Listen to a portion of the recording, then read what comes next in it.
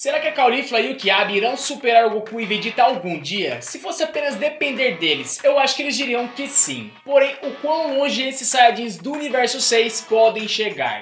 Então já sabem, fiquem ligados nesse vídeo e vamos lá ver tudo isso. Fala galera, canal Rex Pirici, beleza? Que quer falar o Ramon, sejam bem-vindos a mais um vídeo. Se você ainda não faz parte da família Hero X, tá esperando o que? A oportunidade é agora, se inscreve no canal para já ficar por dentro de tudo sobre Dragon Ball Super, Boruto e muito mais.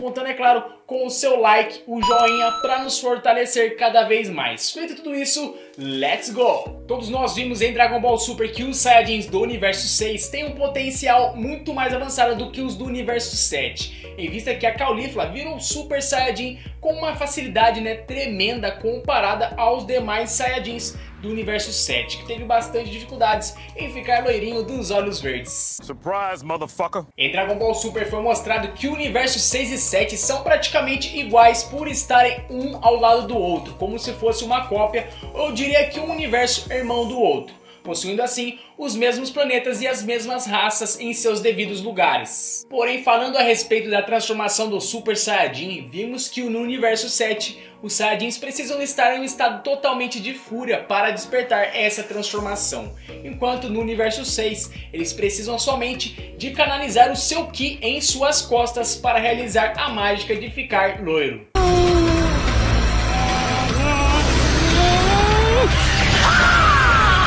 É somente do Super Saiyajin nível 1 que eu estou falando, mas sim, né, de chegar até as transformações atuais do Vegeta e do Goku no anime de Dragon Ball Super. Até porque a Caulifla virou até mesmo Super Saiyajin nível 2 bem rapidamente, enquanto a sua irmã Kalo estava, né, completamente em fúria, sendo afetada pela transformação do lendário Super Saiyajin, que é praticamente igual ao estado do Broly, perdendo assim a noção e a consciência de tudo à sua volta, mas com um poder gigantesco dentro de si. Se formos comparar um tempo cronológico desde os acontecimentos de Dragon Ball Z na saga Freeza até a saga Majin Buu que o Goku alcançou o Super Saiyajin 2 e 3, podemos presumir que no mínimo ele demorou cerca de 10 a 15 anos para alcançar essa forma. Isso é, que nesse número não é tão exato para calcularmos assim tão perfeitamente em Dragon Ball.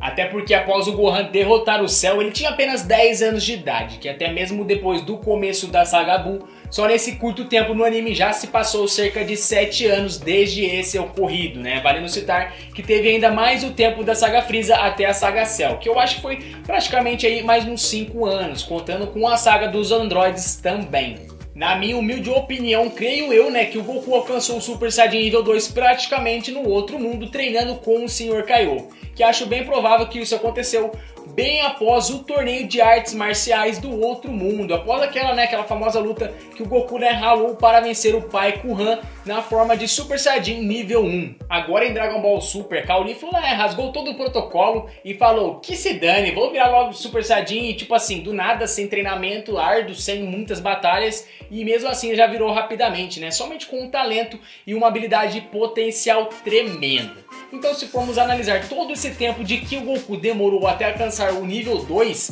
isso é, só mostra que sim, os Saiyajins do Universo 6 têm uma facilidade muito maior para alcançar as próximas formas Saiyajin muito mais rapidamente. Também vimos em Dragon Ball que os Saiyajins puros, como Goku e Vegeta, que vieram de pais e mães Saiyajins, demoraram bastante para alcançar a transformação da grande lenda.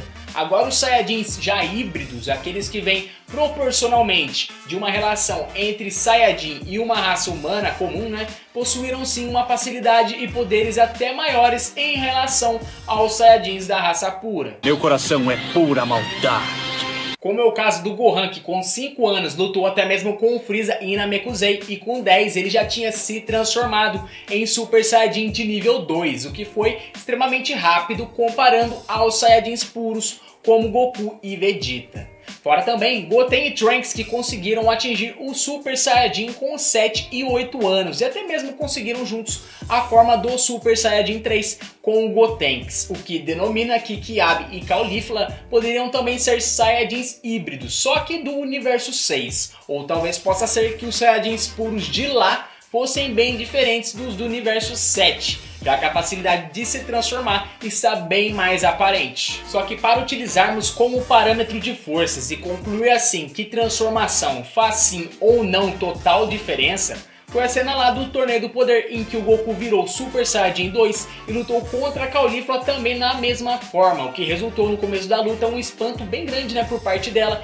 em relação ao real poder da forma de nível 2 o que poderia concluir ali que mesmo os Saiyajins sendo de universos diferentes e possuindo a mesma transformação, o poder dos Saiyajins do universo 7 são um pouco mais fortes do que dos 6. O miserável é um gênio! E também para considerar isso, galera, fora que o Goku né, lutou contra o Jiren, utilizou o Migate no Goku já uma vez, já tinha também esgotado a sua energia e ainda assim ele bateu de frente com dois Saiyajins, né, duas Saiyajins ao mesmo tempo. Eita porra! Que foi a Caulifla e a Kale. Então, o que quer dizer, né, que o Goku sim é um pouco mais forte. Os Saiyajins do universo 7 são mais fortes sim do que dos 6. Porém, eles têm mais facilidades em suas transformações. Podemos então, né, afirmar que para despertar novas transformações, os Saiyajins do universo 6 têm maior facilidade que dos 7. Porém, em quesitos de força, o universo 7 ainda seria mais poderoso se ambos estivessem na mesma forma. Pelo menos, analisando todo o anime de Dragon Ball Super, pode-se concluir que sim, o resultado final é esse.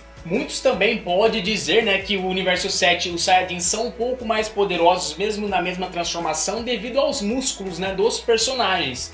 Já que no universo 6 os Saiyajins são bem magrinhos, né? Só tem ali a aparência de Super Saiyajin, o que é bem diferente no universo 7, que eles são bem mais musculosos e com o físico mais trabalhado. Pode ser né, que isso afete sim o resultado final, que é o poder e a força deles. Mas e aí? Vocês acham que os Saiyajins do universo 6 poderiam sim ultrapassar os níveis de Goku e Vegeta? Fala tudo aqui nos comentários o que vocês acham disso tudo. E se você gostou do vídeo, fortalece no like, no joinha, se inscreve quem ainda não é, para ficar por dentro de todos os assuntos de Dragon Ball que estão por vir. Não esquecendo, é claro, de ativar o sino para receber sempre a informação do YouTube quando uparmos vídeos novos. Que por agora ficamos todos por aqui. Um grande abraço a todos. Valeu, falou e fui.